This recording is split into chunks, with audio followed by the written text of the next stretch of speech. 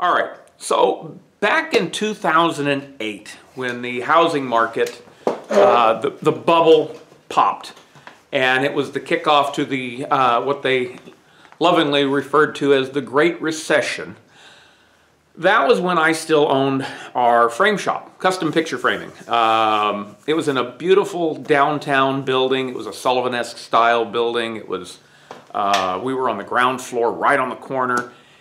Beautiful location. Um, I don't remember how many square feet, but it was quite a bit, and we were paying $3,000 a month rent. And so I can pretty much if I look back on it, I could probably tell you the day that somebody turned off the business switch. The commerce button went from on to off because we were just starting to um, kind of show a profit. And it was starting to look like, oh wait, we're going to make a living at this, and this is this is working for us. We're paying the rent, we're paying our suppliers, we're you know we're doing really pretty well. And then all of a sudden it just off, nothing. The end of our lease, you know, we closed up shop, went on our went on our way, and I went out looking for a real job. Um, and I applied. That was basically my job. I can remember, uh, gosh, that would have been 2000 guess two, I guess that would have been 2010, uh, 8, 10, yeah, something like that. Anyway, uh, it was summer, and I just, my full-time job was filling out applications, and I filled out, I couldn't tell you how many applications, a lot of them were online, and I, I don't know, you might as well write a letter to Santa Claus as far as I'm concerned. You just, they're not, online applications, I, I don't know that they go anywhere. I don't know that they ever get seen. But what we did, or what I did, was I was filling out applications. I was going, um, I was going to, to, to places of business. Uh, I went to mom and pops. I went to went to municipalities, so like the county, the city, the uh, di several different cities. Um, I had one real solid lead with the county. Uh, to, to work in the surveyor's office or something. I'm not real sure. I don't remember.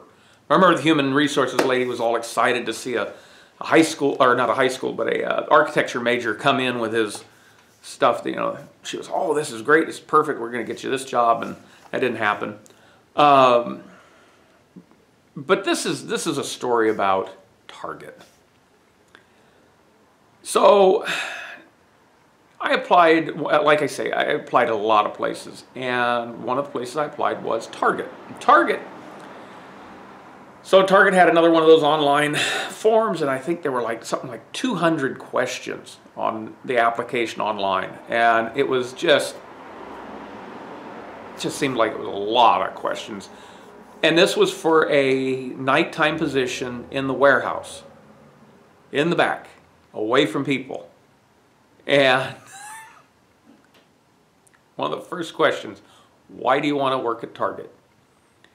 Now I know that seems like a logical question to ask when you're when you're looking for employees. Well, why do you want to work here? Well, it kind of isn't. Uh, it's not, a, especially like a place like Target. I mean, I can imagine like, you know, if you applied to a place like Disneyland or, or uh, Pixar or something like that, it's like, oh, I always wanted, you know, that kind of stuff. But nobody, I don't think, really wakes up um, I don't think any four-year-old child gets up and one day I want to work at Target. You know, it's just not just not the hopes and dreams of anybody that ever. So anyway, so um, asked the question, why do you want to work at Target? And the, tar- the question, you know, it just, you just come up with something. And, and my, you know, I probably should have, because I have bills to pay. But what I wrote was something about being familiar with Target. I was comfortable with the brand, you know, that kind of stuff. You know, something that, you know, make them, make them at least think that I was a excited employee. Uh, some days, weeks later, I get a phone call from Target. It was a young woman on the other end of the line. She says, Hey, uh, this is Target. Are you still interested in a job? I said, Yes. She says, Well, I have two questions to ask you. And the first question she asked me, Why do you want to work at Target? I said, Well, I think I answered that on the application. I said, You know, and I, I kind of paraphrased what I'd already answered, how I'd already answered the question. And, you know, whatever the second question was, I don't have any idea. But then it was, um, she said, well, let's schedule an interview or get you down here to the, to the store. And you'll, they're going to take you and, and, you know, do this and we'll, we'll go to the next step. So I show up for my interview. It doesn't start as an interview though. What it started at was they led me over to another computer. And the, this was another, uh, basically I think it was an IQ test. You know, it was one of those deals where it was, um, you know, you got five soup cans, you only carry two at a time. How many trips does it take? And you're supposed to, you know, you're supposed to do simple math and get the wrong answer. And um, anyway, I went through that and I, I submitted it and I get called up to the office. Oh, you know, we're, we're thrilled, Mr. Jennings. This is great. You did really well on the on your uh, computer, you know, your test here, and we're really excited. And uh, we just have two more uh, interviews for you. Just, we have two two actual interviews for you. And I said, that's great. Let's let's do it. So they took me to this little office, and this is where I it, it was I should add that that lady had asked me the same thing, that same question that why do you want to work at Target? So there's three times I've been asked, why do you want to work at Target? And so she she takes her thing and, and, and she goes and you know I they lead me into this little room and um, this is when it was I was kind of really getting annoyed by this time. So the, the, the application process worked. But by this time, I'm, I'm a little, because it's corporation, I've worked with corporate, big corporate stuff before, you know, big retailer, and they're weird. And uh, I could see this was going the same direction. And that's when Timmy Timmy, I swear, that's what it says, name tag. Not Tim, not Timothy, Timmy. Comes in the door, sits down. Hi, Mr. Jennings. I, my name is Timmy. I'm here to interview you. We're to do the, I'm to do your first, first stage of your interview, and then we're going to, you know, move on from there. And I was like, all right. And the first question I was, why do we want to work at Target? I said, wow, that question gets asked a lot. And he says, yes, it does. I said, wow. I said, well, you know, I said, all the other times I've basically said this. You know, I, again, I just paraphrased what I had said prior about being comfortable with the brand. I shopped there, we knew what it was, that kind of stuff. I knew people that had worked there prior and they'd all experienced, you know, had a decent experience there. And I was like, you know, that's, that's why. Again, I probably should have just said because I need to pay bills. Anyway, after the interview, we, he's like, he's excited, man. He's like, oh, this is going great, Mr. Jennings. He says, this is wonderful. You, you do, are you, can you stay and we'll take this to the next step? And by this time, I'm done.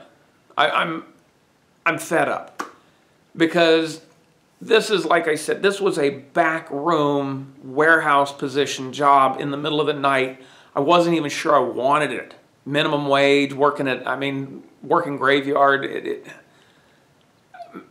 maybe there's upward mobility, maybe there's not. I don't know. How far can you go in Target? I, I have no idea. But it wasn't, wasn't looking like a promising position in life. But I did need a job and I did have bills to pay. So I was sat around and that's when they sent in, and I swear to you, I swear, name tag, Skippy. Skippy. Skippy comes in. Mr. Jennings, and I guess he talked to Timmy because he was thrilled. Timmy says, Timmy says, you're really, uh, really doing well on this interview. He says, I want to get you, get you through this real quick so we can get you on to the next step. And I'm not sure how many steps there are. It just seems like there's a never-ending step. We're already on step five or six now. I, yeah, I don't know. First question out of his mouth. Why do you want to work at Target? You know, leans in. Just, why do you want to work at Target? I was done. I did the wrong thing. I may have done the right thing. I don't know. Like I said, the application pro pro process worked. So I was done. I was done playing the corporate game, and that's that's when I ended the interview. I said, said that question gets asked a lot. And I said, I'll tell you what, I actually want to work at NASA. But they're not hiring picture framers right now and they won't return my calls. He looked at me. The interview basically went downhill from there. Asked me this sort of the same questions the last guy did, you know, are you okay with taking instructions from younger people? Yes, I don't care how old you are, just I just, you know, whatever. I don't care. That's not not the issue. But they had, they had played with me and played with me until I finally just broke. And so that's why I don't work at Target. Hey YouTube, I'm starting to think I need to write a script. I've been trying to record a video for the last few days. Um, I have decided on what we're doing with the channel. Uh, basically, uh, I basically the wife and a couple other people have been just on my case. Why don't you just make YouTube videos? Why don't you just do it and, and just do things in the garage, do stuff, you know, whatever. And, you know, with her about to graduate college and finally, you know, get into a, get herself a real job that, that would have a real uh, income security, you know what? Maybe, maybe they're right. So what we're doing is we're moving on to basically two types of videos from here on out. I'm going to do this type. This one here is a uh, more, more traditional vlog. We're going to do something. I'm going to try and upload a video at least once a week, uh, just covering what's going on, what I'm doing in the garage. Uh, they may stumble. They may not come out real steady the, for the first few months here. I'm not real sure. It kind of depends on uh, it kind of depends on income, really. It depends on if I've got money to come in to, that I can feel secure in spending on certain projects, like getting the three-phase into the building so that I can hook up the lathe and then do the lathe the repairs on the lathe and this and that, and that you know, just different projects. Uh, the Ranchero, the 4x4 Ranchero, I haven't spent money on it because I don't feel secure spending money on it right now. Uh, yeah, I, there is also, you know, the power hammer, I've got most of the parts for it, but there's some things that I wanted to use the new machines to fabricate for it. So, you know, there's a, there's a lot of stuff. Uh, the second type of video, so that's first type going to be vlogs. Second type is going to be actual project videos, and they'll they'll be edited a little bit better. Actually, hopefully a lot better. Uh, matter of fact, I did mention earlier in a, the last video, I think it was, I mentioned uh, a new, not really new, but a renewed love of Coleman lanterns. And I'm hoping to figure out a way to animate, uh, add animation to the to the videos. And because I'd like to go into like these lanterns or any other different, a, a, myriad of other things that I've done over the years, it, it would be kind of neat to diagram, you know, the, the, the workings and that kind of stuff. So we're going to work on that. Um, what gets turned into a project video may have a lot to do with how uh, well it was documented while it was recording. Uh, so for example, right now, a current project I'm working on are some fountains, Corten fountains. I've been recording as much as I can, but I'd really like to have a finished product. That's out of my control. So as soon as they're finished, I actually have some work to do on, to, on them today. But as soon as they're finished, I don't know when they get installed. I don't know. I don't even know if after they're installed I'll ever have access to the site. But it would be nice to get some video of them running. You know, so it's like from start to finish. And it may not be a real involved video, but it'll be something, you know, and it'll be complete. This is a project. Um, you know, that kind of thing. Other things, it may just be ongoing projects, for example, like the Ranchero. It'll just be a series of little projects, uh, little project videos, and to catch the whole thing, you'd have to watch the vlogs and the project videos and this, that, and the other thing. So, yeah, like the, I think we're over pretty much most of the, uh, you know, I might do a project video on the Ranchero that's like, hey, we're installing the windshield, you know, uh, or that may end up being a vlog. Hey, look, we installed the windshield. I don't know. It, it's it's up in the air. We'll decide, you know, as as we go. Um, I do have a lot of projects that are piling up. Uh, I don't know how many we're going to get to. I don't know how many. I don't know. I, I've got I still have a table I, I, I need to build. I got to get these fountains done. I've got to get, um, there's a motor sitting in here that we're building for a friend. Uh, that one's a little bit weird because he kind of wants to help build it, so I don't really know how that works. I've got a welding table. Um, I was actually asked by someone to design and build a welding table. They've got the materials, or at least most of them, and he's like, I want you to make a video of it fine, we'll make a video of it and it'll be a project video, start to finish. Um, I hope to introduce more anecdotal little story time, like uh, if it recorded right, you will have seen at the beginning of this video, you will have seen me talking about my attempt at getting hired at Target and how that failed miserably and it's my fault. I mean, you, you don't even have to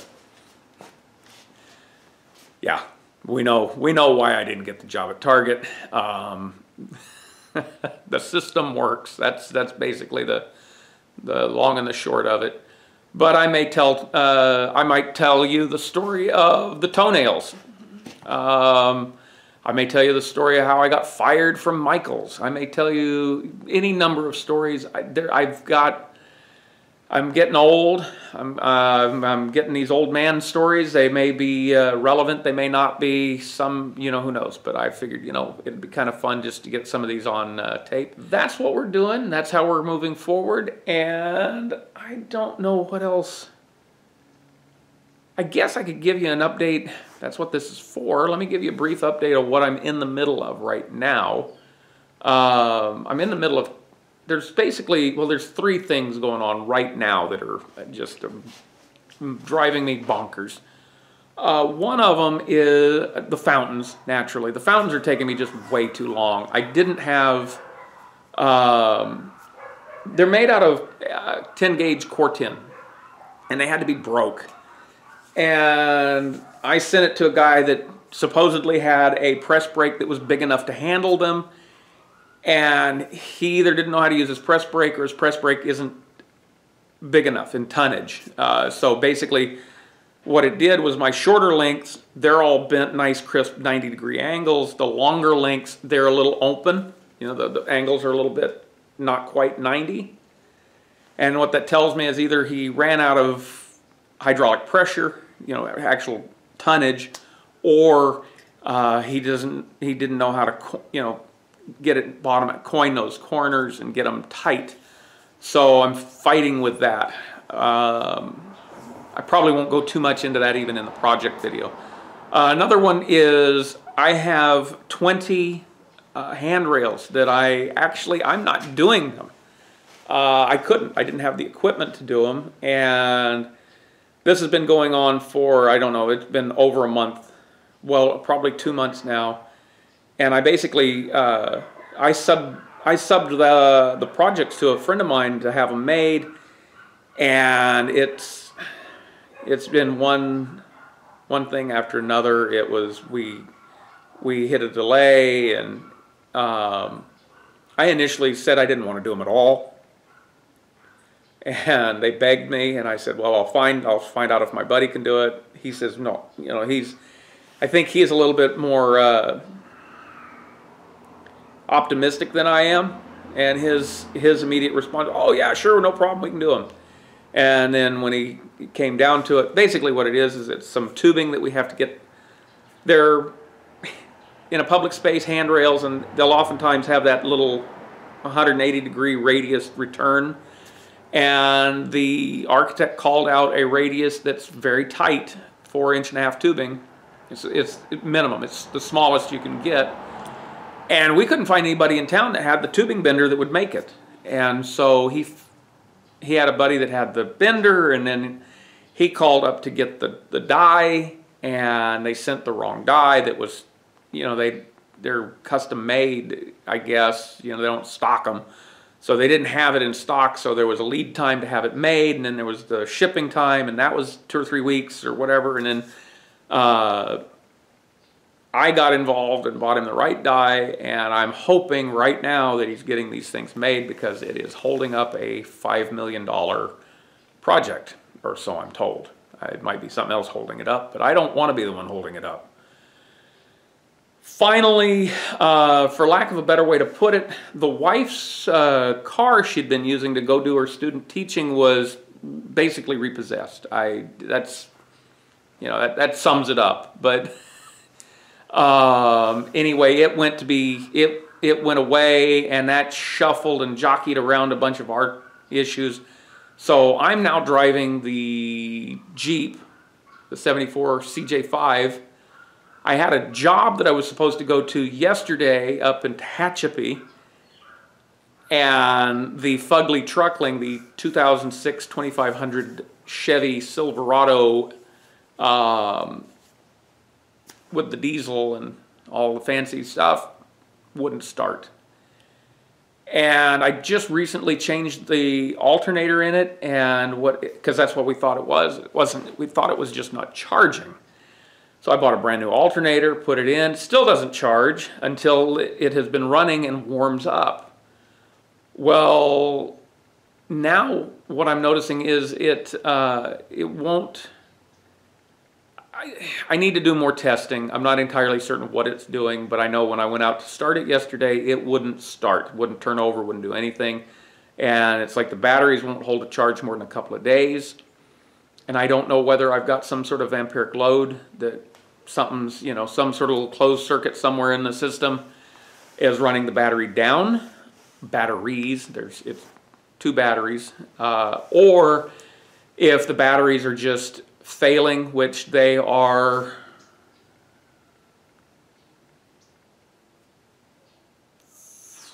nineteen, I don't know, four years old, I guess. So they may just be done. You know, batteries don't last forever.